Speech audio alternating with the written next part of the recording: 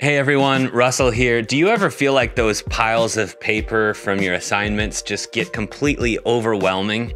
Or maybe right now it's more the dishes and the laundry.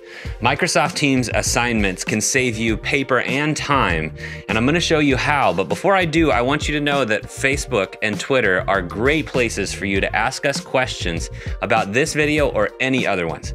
So reach out and we'd love to answer those. Now, how do you save time and paper with Microsoft Teams assignments? Let's dive in. All right, so I'm in Teams, and we can think about assignments in two ways. From the me space, meaning all of the assignments I've created across all of my classrooms, or the we space, which focuses on assignments on a per class basis. Let's start in the we space. Here are all the teams I'm a part of. I want to filter for classes to make it a bit easier to find what I'm looking for. And there it is, my English 10A class team. Now, I need to be in the general channel to find my assignments in Teams. So I'll click into assignments. You'll see three sections here. Drafts, these are assignments I'm working on that aren't quite ready to be assigned yet. And then there's assigned. These include assignments that need to be reviewed or that are still scheduled to be sent out at a later date. Then there's returned. Assignments are returned when all of them have been returned to students after being graded. If a student turns in additional work after it's returned, the assignment will appear back in your assigned list to notify you that there's work you still need to do. All right, so let's create a new assignment. You can see I'm given three options here, assignment, quiz, which uses Microsoft Forms, or from existing, which is just like it sounds, creating an assignment from one you've already done in the past. Let's create a new one. Let's create a character analysis essay. I want to call out categories because it's a really helpful way to organize your work. Educators can organize by units, projects, or subjects. We'll use a type of work here, so essay, and I'll fill the instructions out quickly. Now I'll click Add Resources.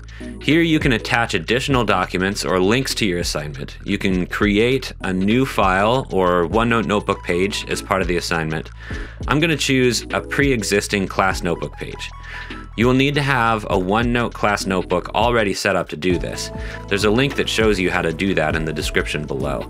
I'm going to place this in my content library which is a section that students can pull copies from into their own personal notebooks for me to review later.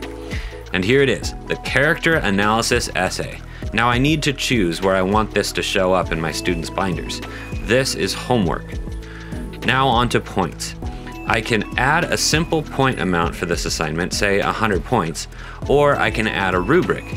There are a few different options here. If you want to see how to create a rubric, there's a link below walking you through those steps. I'll choose a pre-existing rubric. This looks good to me, so I'll attach it. Assign.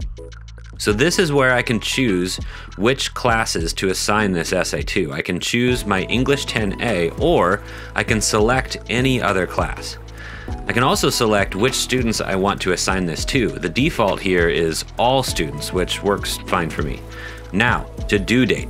I'll change it to 7 a.m. for a morning delivery and set the due date for about a week out. Now here's where I can schedule this assignment to be sent out at a future date. Let's say I don't want to hit my students with this right away when they get back from the weekend, so I'll send it out on Tuesday morning at 7 a.m. That looks good. I'll click done quickly.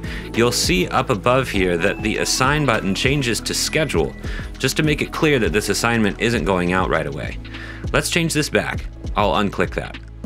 Okay, due date set to Monday the 14th, that's fine. Now close date. This basically allows me to close this assignment so there aren't any late turn-ins. I can also set it for a date after the due date in case I do want to allow for late turn-ins for less points. I won't use that feature for this assignment though, so I'll click done. And now assign. You'll see character analysis essay pops up in my assigned list of work. If I click into my newly created assignment, I'll be able to track which of my students has viewed or turned in their homework, and I can leave feedback and give points. I can also review work I've already returned to my students, and here's a pretty cool feature. If I click the dot dot dot up in the top right, I can use Student View to make sure everything looks alright. You'll see Immersive Reader works right within the assignment. And one last thing, to view all of your assignments across all of your classrooms, just click over here in the Me space. And here you'll see all of your assignments across all your classes in one place. But that's it. That's how to create an assignment in Microsoft Teams. If you have any questions about grading these assignments or adding a rubric into an assignment, I link out to those videos below. But that's it for today. Thank you so much for watching. I'm here every Monday and Thursday. Be bold, keep learning, and we'll see you next time.